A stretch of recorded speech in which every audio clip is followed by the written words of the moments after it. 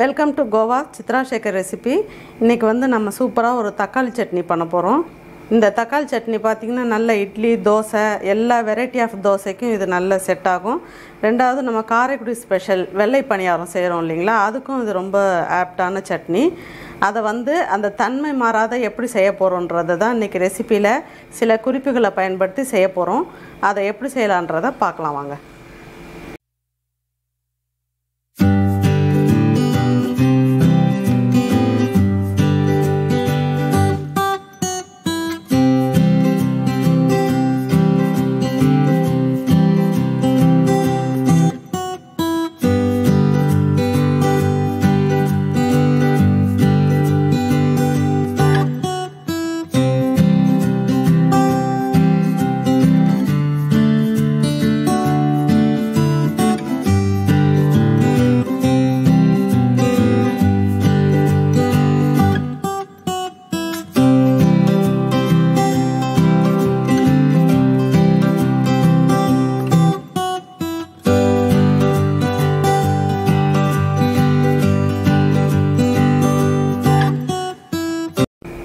இப்போ அடுப்பை ஸ்டார்ட் பண்ணிக்கிட்டு தேவையான அளவு எண்ணெய் சேர்த்துக்கலாம்.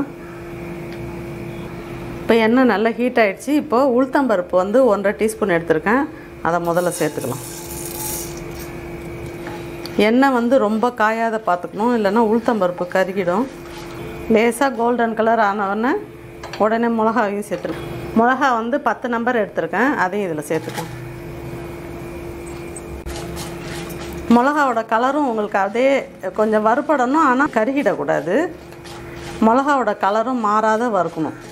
கருகிடாத லேசாக கொஞ்சம் ரோஸ்ட் ஆன உடனே இப்போ இதில் இந்த வெங்காயத்தை சேர்த்துலாம் ரெண்டு மீடியம் சைஸ் வெங்காயம் ரெண்டு இது மாதிரி கட் பண்ணி எடுத்துருக்கேன் அதையும் இதில் சேர்த்துலாம்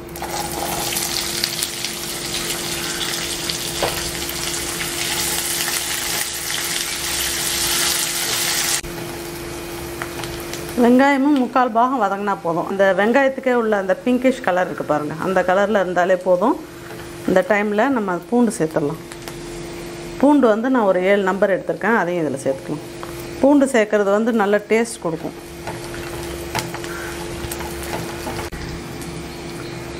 கொஞ்சமாக நெல்லிக்காய் சைஸுக்கு கொஞ்சோண்டு புளி சேர்க்குறோம்.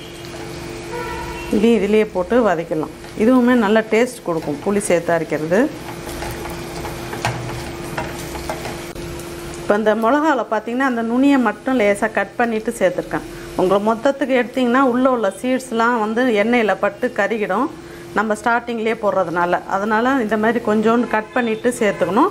ஃபைனலாக நம்ம எல்லாம் சேர்த்து வதக்கிட்டு மிக்சியில் போட்டு அரைக்கிறதுக்கு முன்னாடி அதை நம்ம எடுத்துடலாம். இதெல்லாம் வந்து ஒரு சின்ன சின்ன குறிப்புகள். இதெல்லாம் பயன்படுத்தி செய்யும்போது நம்ம அந்த தக்காளி சட்னியோட நிறம் வந்து நல்லா மாறாத நமக்கு கிடைக்கும். இப்போ பூண்டும் சேர்த்து வதக்கிட்டோம். இப்போ வந்து நான் ஒரு அஞ்சு தக்காளி நல்ல பழுத்த பழமாக எடுத்துக்கோங்க.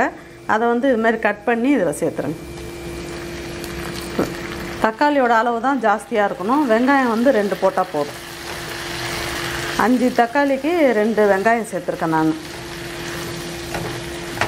இப்போ இதில் ஒரு பிஞ்சு பெருங்காயத்தூள் சேர்த்துக்கலாம். ஃபைனலாக ஒரு தடவை நம்ம தாளிக்கும் போதும் சேர்க்க போகிறோம் அதனால் கொஞ்சமாக சேர்க்க போகிறோம் இதில் வந்து ஒரு கால் டீஸ்பூன் உப்பு வதங்கிறதுக்காக சேர்க்குறோம். இப்போ நல்லா எல்லாத்தையும் கலந்துட்டு நல்லா மூடி வச்சிட்டோம்னா ஒரு அஞ்சு நிமிஷம் அப்படியே அது அந்த இதுலேயே வேகும் உள்ளாரியே உங்களுக்கு. அப்போ இந்த மிளகாலாம் என்னாவும் நல்லா ஊறி நல்லா அரைக்கும் போது உங்களுக்கு நல்லா வரும். அப்பப்போ ஓப்பன் பண்ணி அடி பிடிக்காத கிளறி விட்டுக்கிட்டே இருங்க. இப்போ இந்த தக்காளி சட்னிலேயே நிறைய மெத்தடில் பண்ணலாம். இப்போ ஓப்பன் பண்ணி பார்க்கலாம். நல்லா எல்லாம் எண்ணெயில் வதங்கிடுச்சு. இதை வந்து ஒரு அஞ்சு நிமிஷம் நிறுத்திட்டு ஆற வைக்கலாம். சூடாக மிக்சியில் போட வேணாம் ஆறின பிறகு அரைச்சி எடுத்துகிட்டு வந்துடலாம். இப்போ இதே வந்து நம்ம உளுத்தம்பருப்பு ஒரு சிலர் என்ன பண்ணுவாங்க ஒன்று ஒன்றா தனித்தனியாக வறுத்து எடுப்பாங்க. அது எடுக்கும்போது எடுக்க வராது டக்குன்னு. அது கொஞ்சம் கொஞ்சம் எடுக்கும்போதே உங்களுக்கு கருகிடும். இதுமாரி நீங்கள் வறுத்துட்டு எல்லாம் அதிலே போட்டு மிளகா வெங்காயம் தக்காளி எல்லாம் சேர்த்து வதக்கும் போது உங்களுக்கு அது நல்லா வதங்கிடும். கருகவும் செய்யாது. அதனால தான் நான் இந்த மெத்தடில் செய்கிறேன் இப்போ அது நல்ல எண்ணெயில் வதங்கிடுச்சு. கொஞ்சம் ஒரு அஞ்சு நிமிஷம் ஆறட்டும். அதுக்கப்புறம் நம்ம மிக்சியில் போட்டு எடுத்துகிட்டு வந்துடலாம். நீங்கள் மிளகா இது மாதிரி அரைக்கிறதுக்கு முன்னாடி என்ன பண்ணுங்கள் இது மாதிரி இதை இப்படி எடுத்திங்கன்னா அழகாக வந்துடும் ஏன்னா உங்களுக்கு அதுலேயே வதங்கி ஊறி இருக்கும். எடுக்கிறதுக்கும் ஈஸியாக இருக்கும். இல்லை இது மாதிரி எடுத்திங்கன்னா வந்துடும் அழகாக இப்போ தேவையான அளவு உப்பு சேர்த்துக்கலாம். ஃபஸ்ட்டு ஒரு கால் டீஸ்பூன் போட்டிருக்கோம். அதனால் பார்த்து சேர்த்துக்கோங்க கொஞ்சமாக இப்போ இதை வந்து அரைச்சி எடுத்துகிட்டு வந்துட்டோம். இப்போ தாளிச்சிடலாம். இப்போ நம்ம சட்னியை தாளிச்சிடலாம். நல்லெண்ணெய் ஊற்றி தான் தாளிக்கணும். அப்போ தான் டேஸ்ட்டாக இருக்கும். நல்ல ரெண்டு டீஸ்பூன் நல்லெண்ணெய் சேர்த்துருக்கேன். இப்போ நல்லா எண்ணெய் காஞ்சிடுச்சு கடுகு உளுத்தம்பருப்பு சேர்த்துக்கலாம்.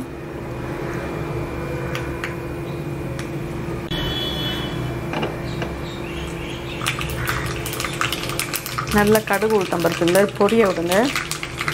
இப்போது கருவேப்பிலை சேர்த்துக்கலாம்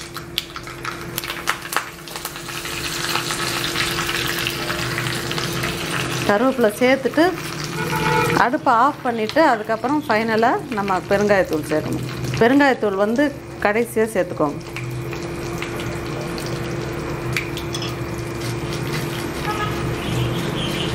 இப்போ இதை சட்னியில் சேர்த்துடலாம் தாளிச்சதை.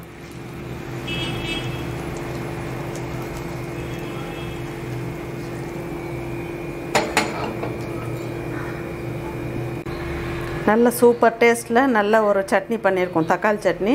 இது வந்து எல்லா டிஃபன் ஐட்டத்துக்கும் ஆப்டான ஒரு நல்ல சட்னி. இப்போ நம்ம சின்ன சின்ன குறிப்புகளை பயன்படுத்தி பண்ணுறதுனால நமக்கு இந்த மாதிரி நல்ல ஒரு அந்த தக்காளி சட்னிக்கே உரித்தான தன்மையோடு நமக்கு கிடைக்கும். இந்த ரெசிப்பியை நீங்களும் இந்த மெத்தடில் செஞ்சு பாருங்கள் செஞ்சு பார்த்துட்டு உங்களோட கமெண்ட்ஸ் என்னன்றதை எங்களுக்கு சொல்லுங்கள் இந்த ரெசிபி உங்களுக்கு பிடிச்சிருந்ததுன்னா லைக் பண்ணுங்கள் ஷேர் பண்ணுங்கள் புதுசாக சேனலை பார்க்குறவங்களா இருந்தால் மறக்காமல் சேனலை சப்ஸ்கிரைப் பண்ணுங்கள் அப்படியே பெல் ஐக்கானையும் கிளிக் பண்ணுங்கள் எங்களோட பதிவுகள் எல்லாம் உங்களுக்கு உடனடியாக நோட்டிஃபிகேஷனில் வரும். தேங்க்யூ